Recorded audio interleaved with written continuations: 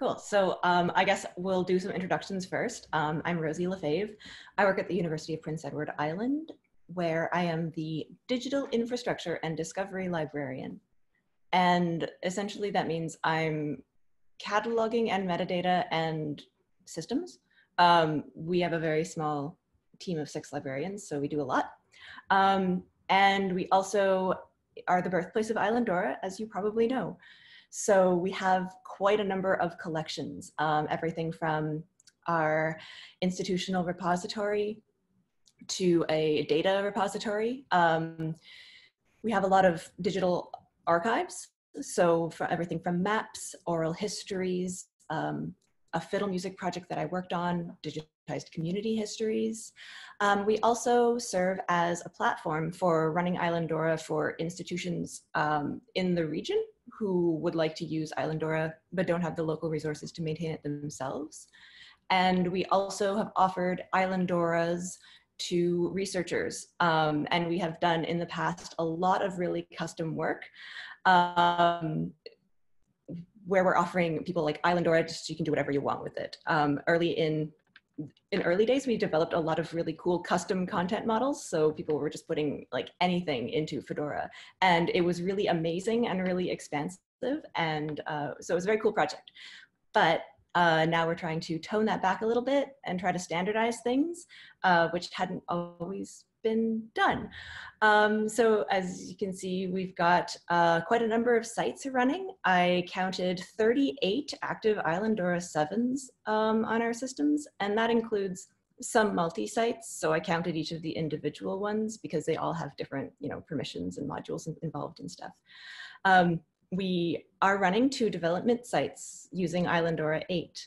Uh, none of them have been published yet, but we've got our digital herbarium, uh, which was prepared by Paul Pound, and the um, data repository uh, that was part of the RDM project, which I had been working on for the last 18 months. Uh, and that was done with a lot of work from Alexander O'Neill, Alan Stanley, um, Noella McIntyre, and um, Mengyu Zhang. So we have, oh, sorry, um, we have a number of sites and they're all very, very different, which is kind of cool. Uh, yeah, oh, and you can reach me on Twitter at Rosie Le Faive.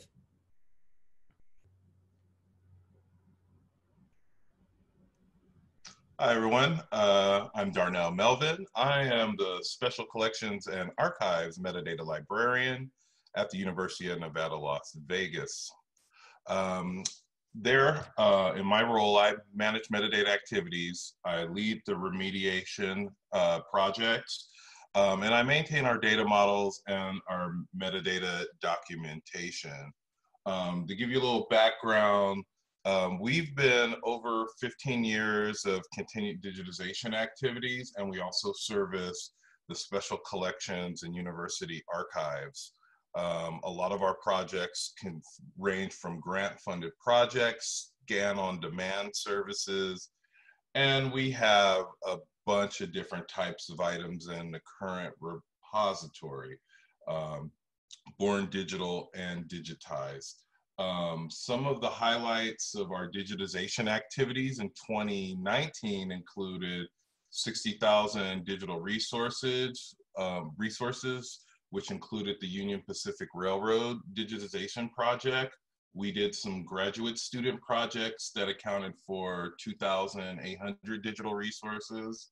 Um, our photo collections accounted for about 8,000 digital resources and about 850 for scan on demand um, services. And then 72,000 pages of our historical news project. Um, and that's our partnership with LC with the Chronicling of America. Um, our collections have been ongoing over time and like the control of metadata has been all over the place. Um, before 2006, minimal metadata may have been copied over from um, descriptions and MARC records um, and or inherited from custom project-based databases. Um, and around 2006, um, Dublin Core was adopted. Um, and then shortly after that, 2009, we started including um, descriptive metadata um, using uh, thesaurus uh, for graphic materials. Um, and then in about 2011, we decided to switch over um, and use fast headings um, in 2011. And it's been really interesting because the data model has been getting more complex over time. It's been very simple, minimal stuff, and over time we've been building it.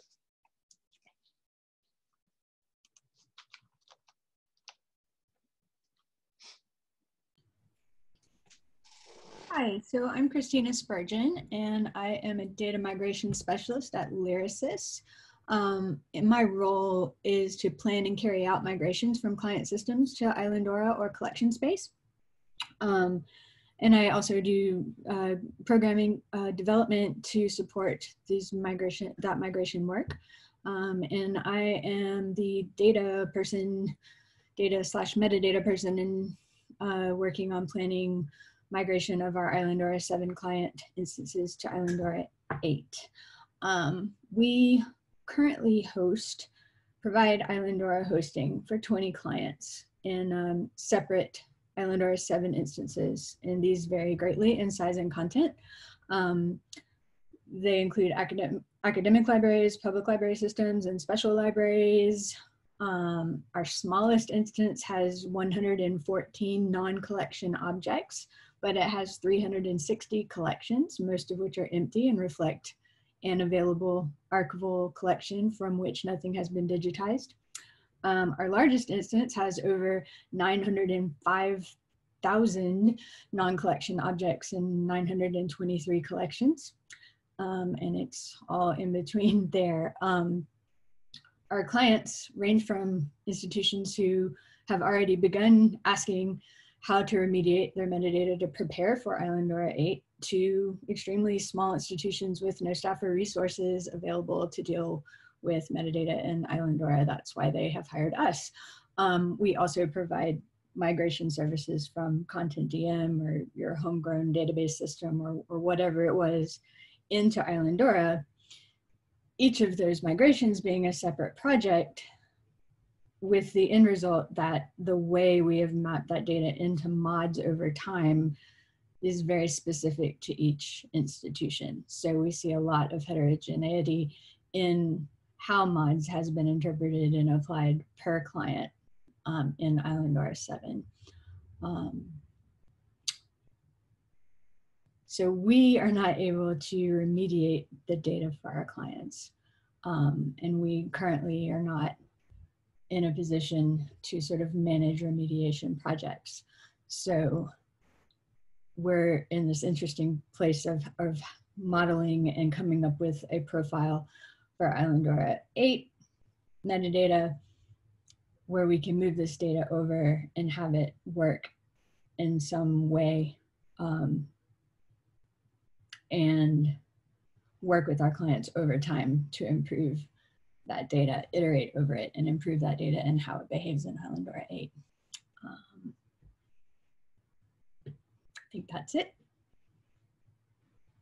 So I think at, at this point, we were going to open it up to see if you all had any questions for us and just basically have a discussion about what we're facing with this work.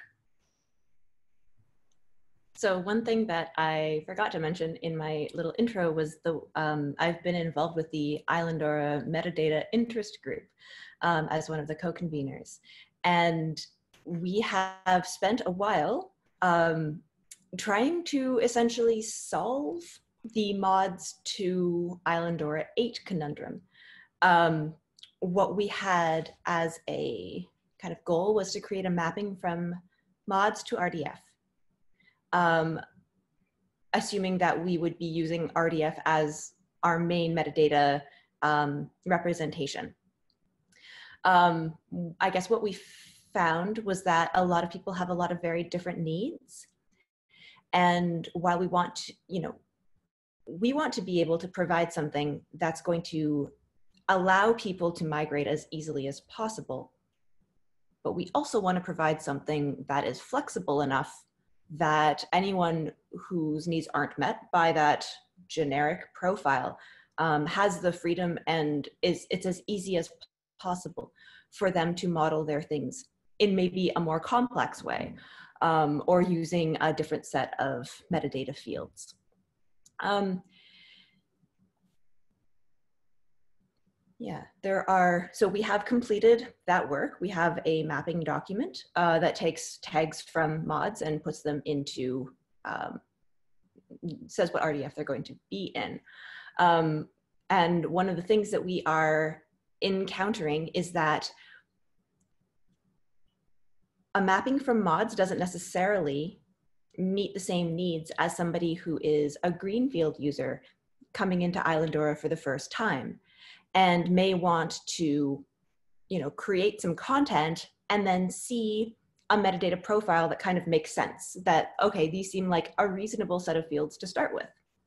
Um, but, you know, as, as a metadata person, um, I really don't want to lose a lot of the specificity that I've put into my mods. You know, we've taken a lot of time and a lot of effort and energy has gone into adding the annotations and the types and the attributes to all of our dates or names or other things um, within our Islandora. And so that like, if we keep all that granularity, then we suddenly have kind of a metadata profile that seems very mod specific. And that's not going to meet everybody's needs either. Yeah, it's really interesting because on our side, we're like on the flip side of the coin. We're not a mods shop, you know.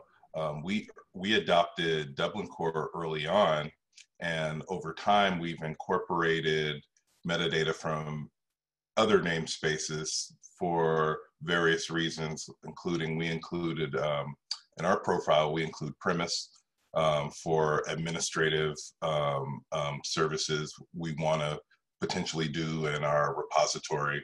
Um, we've also included schema.org. Um, and with us being a special collections, we have a lot of um, information um, locked away in notes. And there's been significant activities trying to identify things that have been locked out, locked into these notes, such as relationships and um, various types of things like um, uh, services an agent may provide or um, the occupation of a person that we may be describing and want to represent in our RDF. Um, and so we, when we just, when we have our metadata application profile, we had our local implementation, but yet we have, we think about metadata in a, in a longer chain of aggregation so we're, we're a member of the Mountain West Digital Libraries, um, which acts as our hub to the Digital Public Library of America. And so when we think about metadata strategies, we're really thinking about it in a larger metadata ecosystem. And we're really trying to describe things in a way that um, are very easy for not say a subject specialist could be able to once we train them we'll be able to pick they could pick it up and be able to describe their collections in a way um, that's um, almost like low hanging fruit but yet we can like as Kristina said you can iterate over it. We look at metadata production in a in more of an iterative production and so we might get the low hanging fruit this this iteration through but we're we're constantly trying to refine our metadata and make it more optimal, more inclusive, um, and um, yeah. Yeah, I would say at um, Lyrasis, we're really focused on well, well, all of our Islandora 7 are very mod, it's all mods.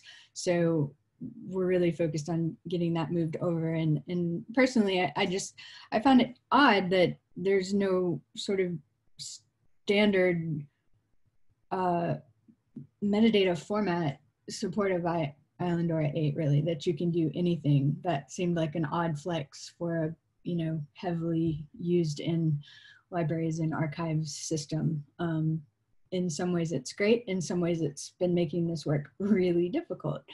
Um, I think um, we're sort of punting on the whole RDF linked data piece of it for now.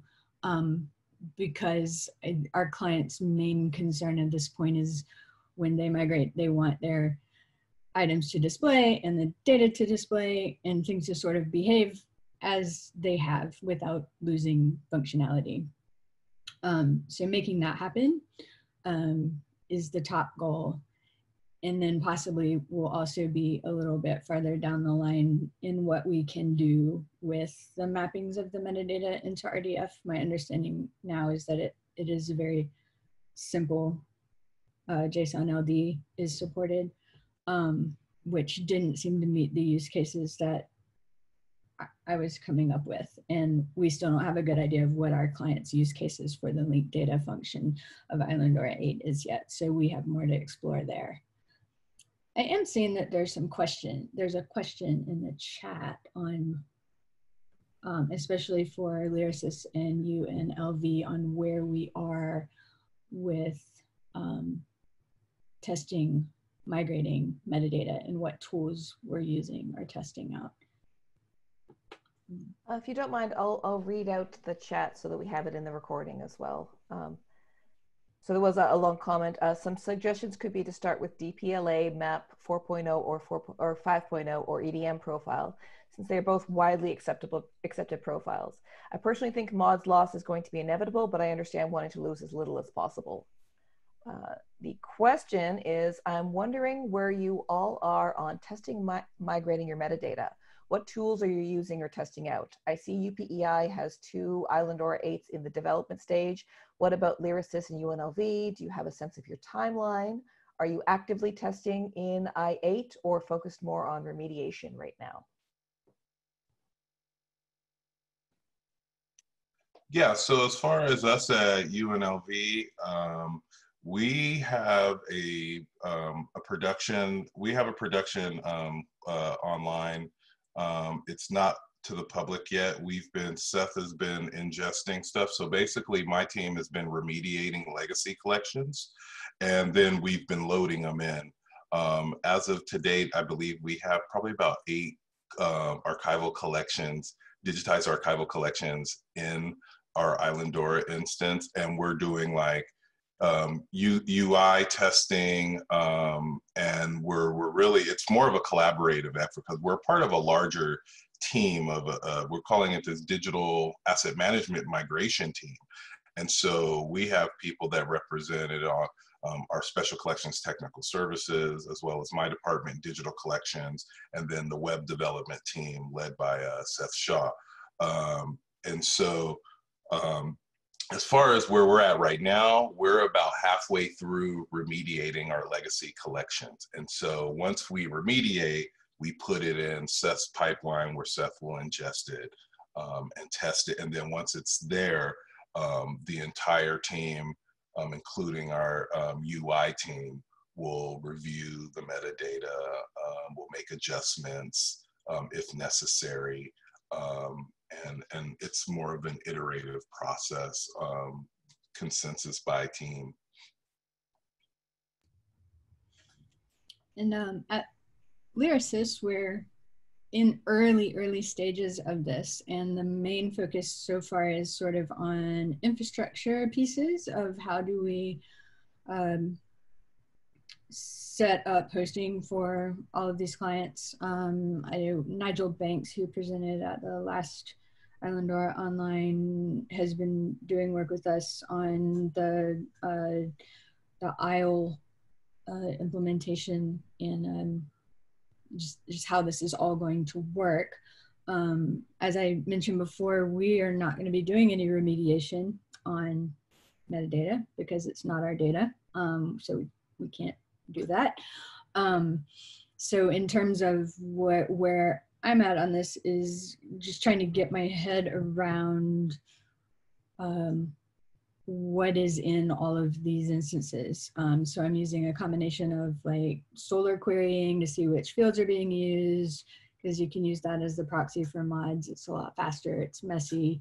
Um, I down have downloaded all the mods data streams and used a combination of a tool called Simile Gadget, a Ruby script that I wrote, and um, Mark Baggett's tool Complex XML to open refine, which will flatten mods out into to CSVs um, to just explore what we even have um, in this metadata to, to sort of start getting an idea of what, what the needs are going to be in Islandora 8. And um, we have a dev, an internal dev instance of Islandora 8 set up where I've begun just messing around and learning what what you can do with the metadata and using the metadata tooling in the migrate 7x claw um, module. Um, um, I see that there was a suggestion um, to start with the DPLA map 4.0 or 5.0. Um, did I just jump ahead for a question? Sorry about that. Um, yes, that would be really great, I think.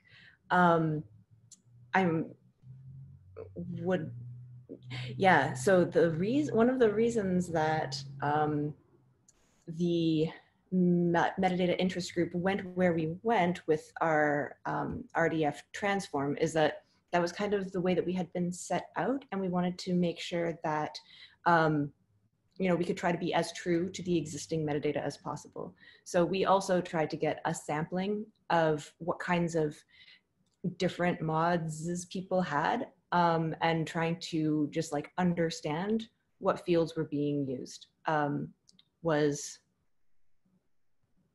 a challenge in itself. Um, thank you to Mark Baggett for that tool. That was extremely useful.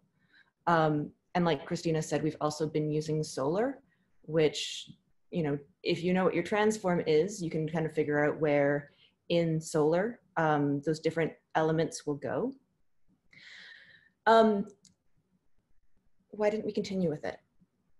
I would love some help with this. Um, because what stymied me, and this is probably because of my perfectionist tendencies, um, was that the DPLA has a very strict, um, like conceptual model of what a resource entails. And there are different things, if I read it off here, um, a web resource, an aggregation, a write statement, and a source resource all have their own metadata properties that can apply to them.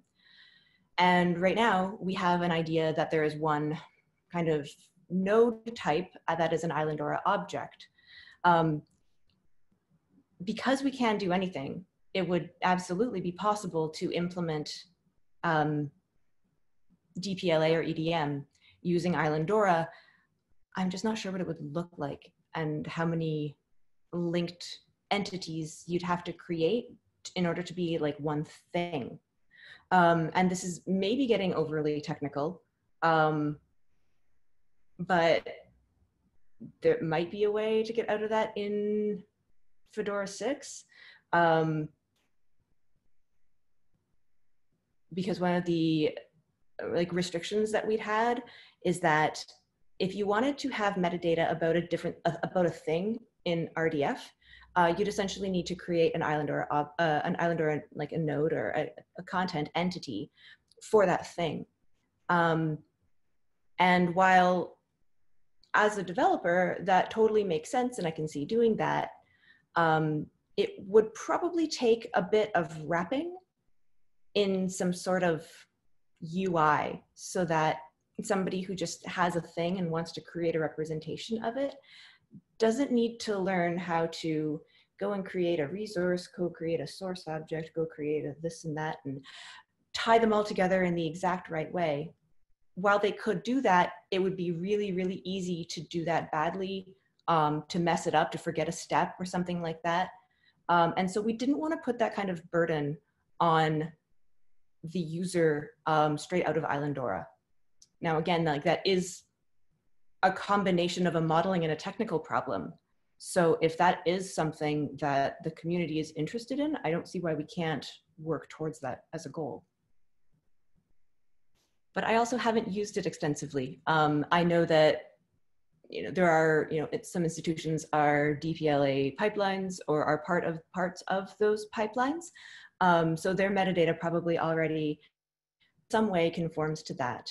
Um, my understanding though was that institutions did enjoy um, having metadata that's a little bit more granular or more specific than what aggregators wanted to see. Um, and yeah, so we're kind of, we're, we're dealing with this issue of data loss, um, which we've been trying to avoid and we've, yeah, um,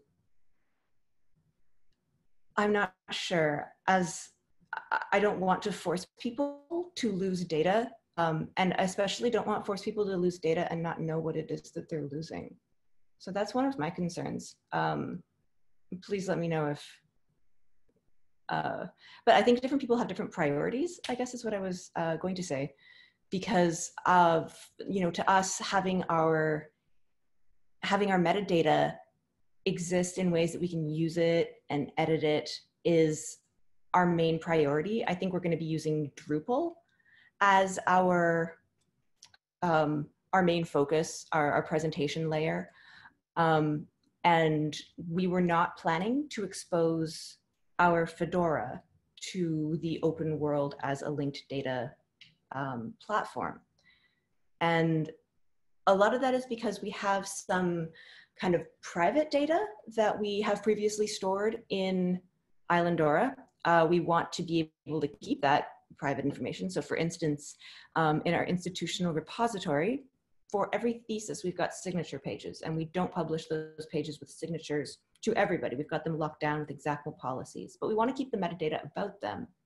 Um, or if there is uh, things under embargo or things that we um, just want to make sure that we limit like who can see what notes. Um, we can do that in Drupal by having fields that are exposed to different Drupal users. Um, but so far we haven't seen the ability to do that um, from Fedora in a way that's linked to what we set out in Drupal.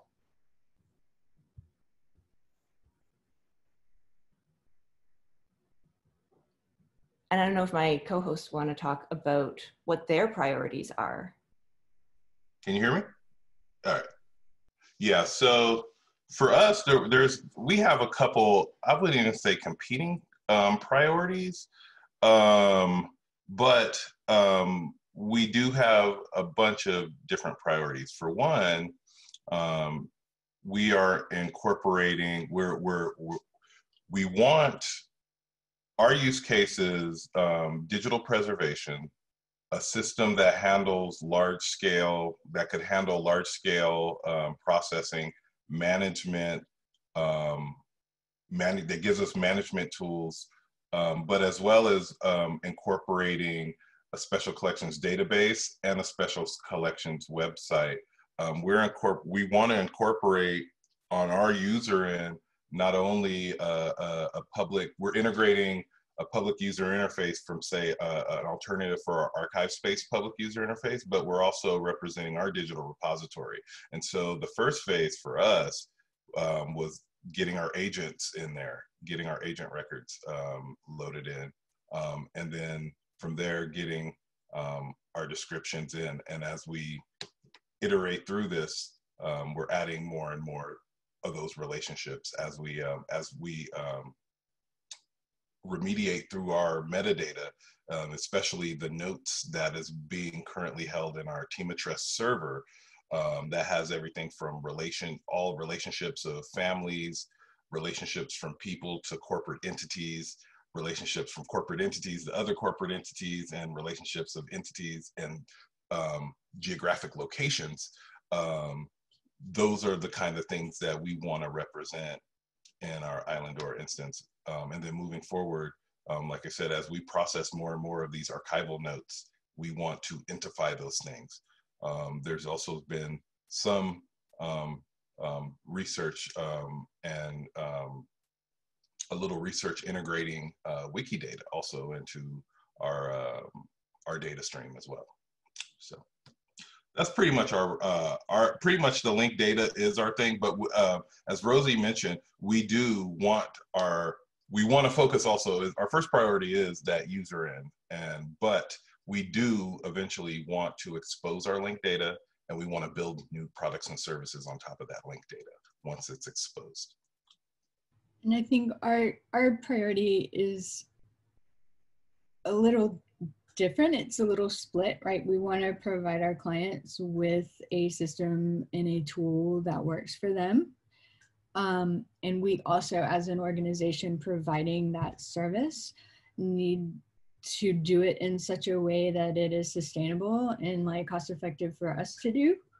Um, so like with Islandora 7, because everything is mods, um, we in general just have one configuration that's propagated to all of our clients. Um, some of them do have some customizations on top of that, but basically all the indexing forms, display um, stuff is um, pretty standard for everybody. And we want to sort of have the same thing going into Islandora 8, um, but we're not sure what, what that is going to look like yet, right? We want sort of, you know, we're, we're working with Born Digital on a um, theme that will work better to uh, present collections based um, Islandora content.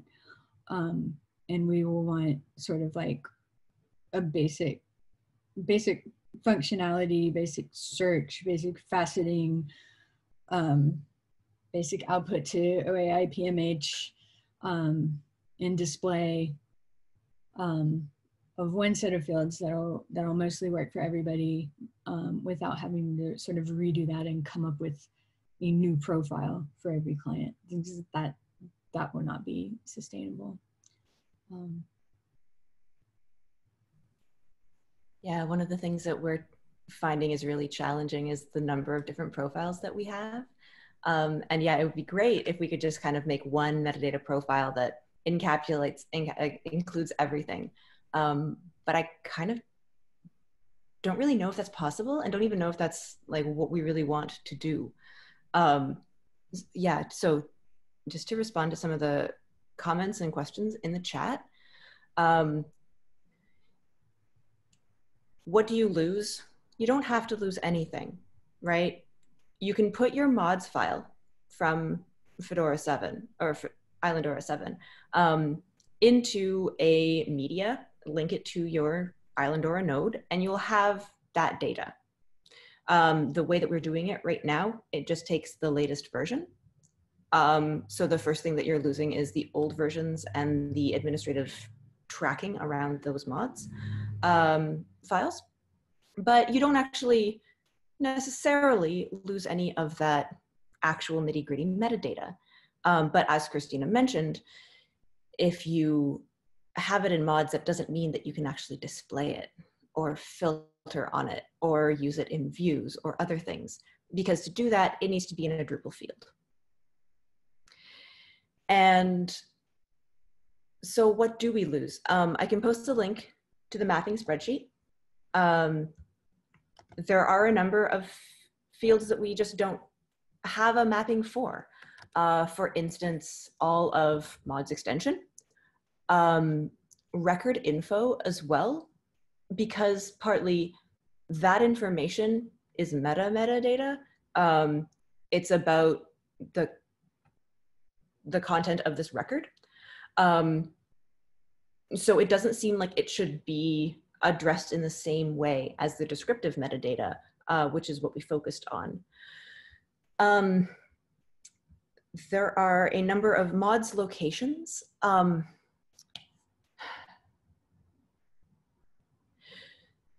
so I know that a lot of people use mods location URL. It's a particularly um, recommended field but it is often, and in many cases in Islandora 7, um,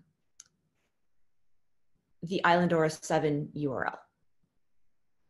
And while we, like we could provide a way to map that in, but we can't guarantee that that's actually going to be useful to you um, because you probably won't have this content at that same Islandora 7 URL. You might if you have your sysadmin set up a whole bunch of redirects, but we don't really want to make that assumption. Um, there are another uh, a number of other like the physical location stuff. Um, we found that within our sample data, there was a lot of variance in how that was actually used and what that field really meant. Um, and that could be between institutions or even within institutions um, using the same field for different things.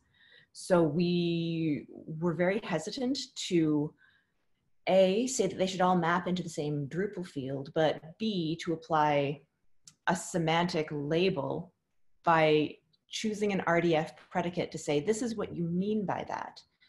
Um, in addition, for talking like semantics there, the physical location could refer to the object from which this was digitized, like the, the print book, um, and not, which is not the same conceptual entity as maybe the work that you're describing here with a title and an author and a publication date.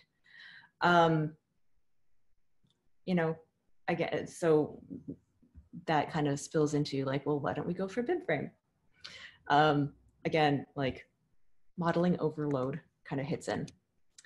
Um, but speaking of like modeling overload, the main thing I would say that you are liable to, to lose if you do not customize your mapping are any of the extra attributes that you might use that aren't being used as selectors here in the map uh, mapping not to be confused with metadata application profile, sorry.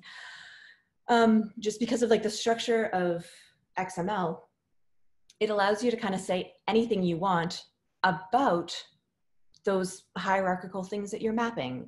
Um, you know, people have used a lot of display labels, um, types for a lot of things, and a lot of those are really uncontrolled values. So there isn't a great way to do that in RDF or in Drupal unless you make a separate field for each of them. And that would result in a profile that nobody would want to use. So I think what, one of the things that we're fighting is we lose a kind of fundamental um, affordance of XML when we drop that and just go into fields or triples. 100%. I think you said that really well, Rosie. Thank you.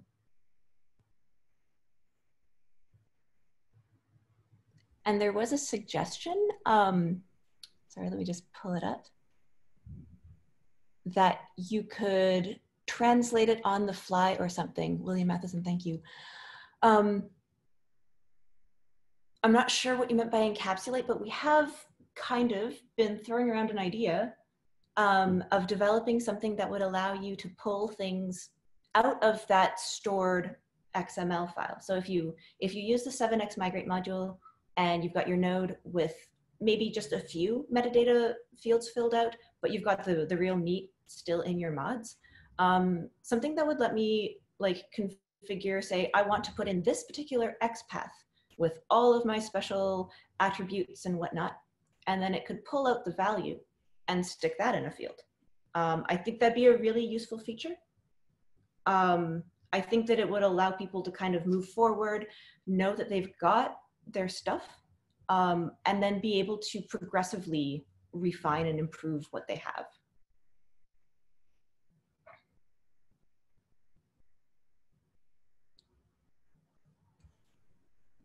And just on the, sort of use case for RDF piece, I think um, I'll try to say this pithily. Uh, we've been having this sort of move over the years toward simplicity and maybe like not as great metadata for for digital objects, right? And it, um, the so the the basic quality of our metadata often has has gone down over say like a MARC record. Um, and then linked data sort of requires really good data quality for it to work, right? Like you need to be able to know exactly what this thing is and reconcile it to the right thing and connect it up to all the right pieces. So I mean, that is another reason why the, the linked data piece is not a gigantic priority for us right now, because there's just so much bare bones, maybe not related to any authority file um, data in a lot of these systems um, that we just can't do anything useful with it as linked data right now.